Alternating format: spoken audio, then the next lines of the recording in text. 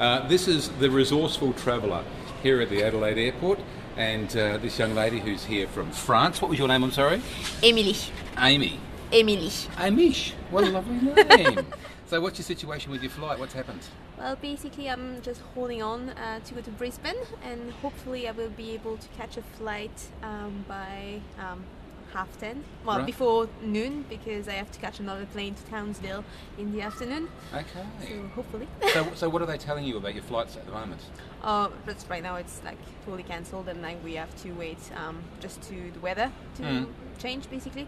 Because um, of course, like with all the ashes, it's not really safe, and I'm quite happy actually. I'm hold down. Yeah. you know- well, you've set yourself up on a beautiful cubby here. Let's just do a little tour. You've had the muffin over there. You've got the coffee. You've got the uh, computer. So you're catching up on news from France as well. What's happening in France that we need to know about? Uh, not much actually. They're just um, taking the piss of the politicians, but I think it's like everywhere in the world, really.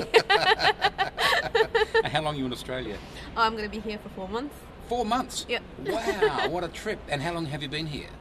Uh, oh, that's kind of complicated. I basically um, arrived in August last year, and then I went for a quick trip to New Zealand. Okay. And then I'm back here. Nice. All right. Well, I hope your wait isn't too much longer. Thank, you. Thank you very much. Okay. Bye bye. Bye.